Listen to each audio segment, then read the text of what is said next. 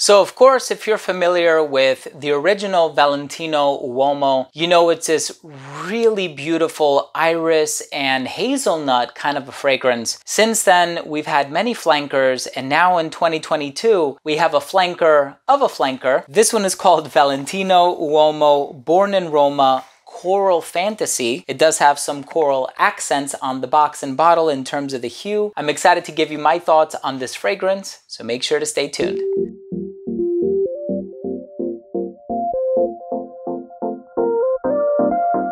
Now, before I begin today's review of Valentino Uomo Born in Roma Coral Fantasy, and I tell you all about this fragrance, the notes, the longevity, the performance, comparison, so on and so forth, I do want to start things off by saying that if you're a fan of fragrance related content, please do consider supporting the channel by subscribing to it. It's absolutely free and it would mean so much to me. Thank you for that. Hit the bell icon so you could be notified whenever I do upload these daily videos. And of course, give this video a thumbs up if you took something of value value from today's episode, it would really mean a lot to me. Now, here is a fragrance composed by Jean-Christophe Hérault and Nicolas Beaulieu, and this is a flanker of a flanker. Like I said, the original Valentino Uomo beautiful iris-based fragrance, kind of along the same lines of Dior Homme, which also had a lot of iris, and you know, that one was composed by Olivier Polge, and then of course, some other perfumers started to take credit for it. Here we have a fragrance that was composed by two perfumers. And interestingly enough, when you take a look at the original Valentino Uomo Born in Roma, I think either the original or the Yellow Dream flanker, because there's been so many versions, they've taken it in a sort of pineapple direction, a spicy gingerbread direction. When you take a look at the note breakdown for this one, it has red apple in the opening, which I thought was interesting. I'm familiar with that note from Lacoste Style in Play also Hugo Boss number six, also known as Boss Bottled. So I've smelled apple in quite a number of fragrances before, designer fragrances at that. And this one also has patchouli, tobacco, it has some warmer ingredients, and it also does compare a bit to Born in Roma, the original. So I'm excited to give you my thoughts on the smell and also let you know how different I think it is, and what ways it's different, and which one I prefer. But let's go ahead and start things off with a quick look at the presentation.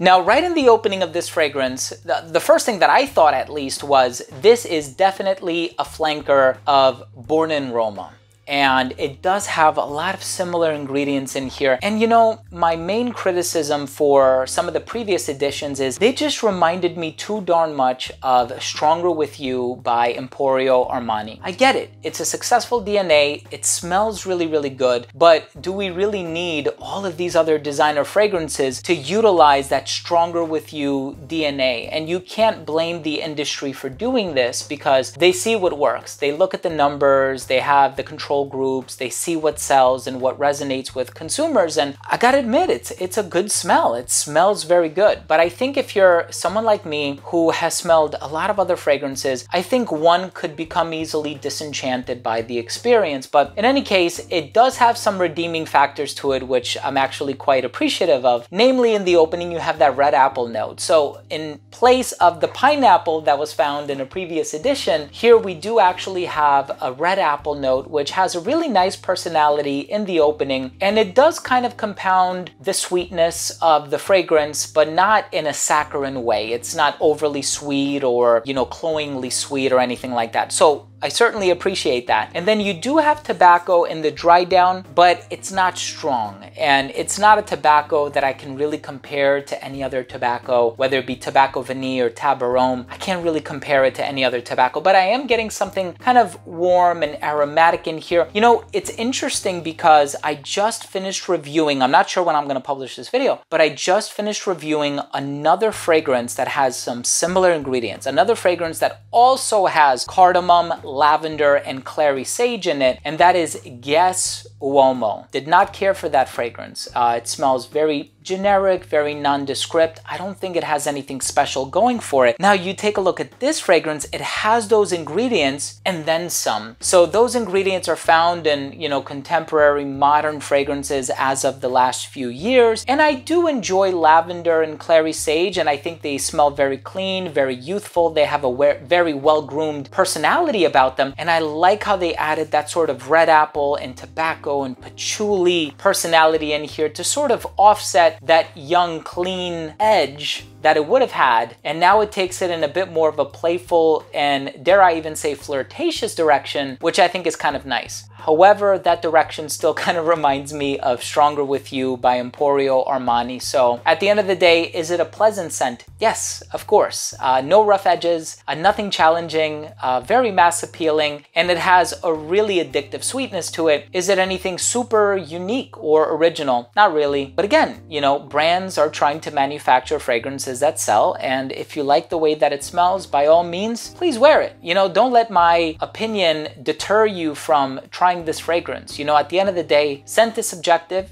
ultimately you're gonna smell some stuff that you like and I dislike and vice versa and that's what makes this such an amazing hobby. Let's go ahead and finish things off with my overall assessment. Now first up, in terms of the uniqueness and the overall smell, gotta say it, it's still very much in line with the Stronger With You DNA by Emporio Armani, but it is a very pleasant smell. My wife really likes it. It is the type of DNA that you would get complimented on, and I do think it has a lot going for it. Longevity is about seven to eight hours. Projection was great for the first hour of application. It did radiate beyond an arm's length. It didn't start to sit closer to the skin until around that seven to eight hour mark and right right around that time, it pretty much disappeared. You can either reapply or put on something else. In terms of the versatility, I think you can wear this one any season, any occasion, although it is a little bit more casual leaning. I can see the original Valentino Uomo being worn very well and very nicely in a formal scenario. This one is probably a little bit more date night and clubbing because it does have that sweetness in here and it does have a little bit of a tonka bean slash amber vibe in the base too. So the sweetness is not just coming coming from the fruits, it's coming from a few different directions, and I can see this appealing to somebody who's a bit on the younger side of things. And in terms of the presentation, yeah, the names always kind of seemed arbitrary to me, and I don't know what the inspiration is. Yellow Dream, I'm still racking my brains trying to figure out where they came out with that. But Coral Fantasy, hey, I'll take it. It sounds like a vacation type of a scent. So my final verdict on this fragrance is if you like the Emporio Armani Stronger With You DNA, you're looking for something something that has more of a red apple feel, decent performance, a good date night and clubbing fragrance that leans on the flirty side of things, check out Coral Fantasy. I hope you like it. Thank you so much for joining me today. I really hope you enjoyed this review, Valentino Uomo Born in Roma Coral Fantasy. If you did enjoy this review, please do consider supporting the channel by subscribing to it. Hit that bell icon so you could be notified whenever I do upload future videos to the channel. And of course, give this video a thumbs up if you took something of value from today's episode. It would really mean a lot to me. Thanks again for watching. Love you guys.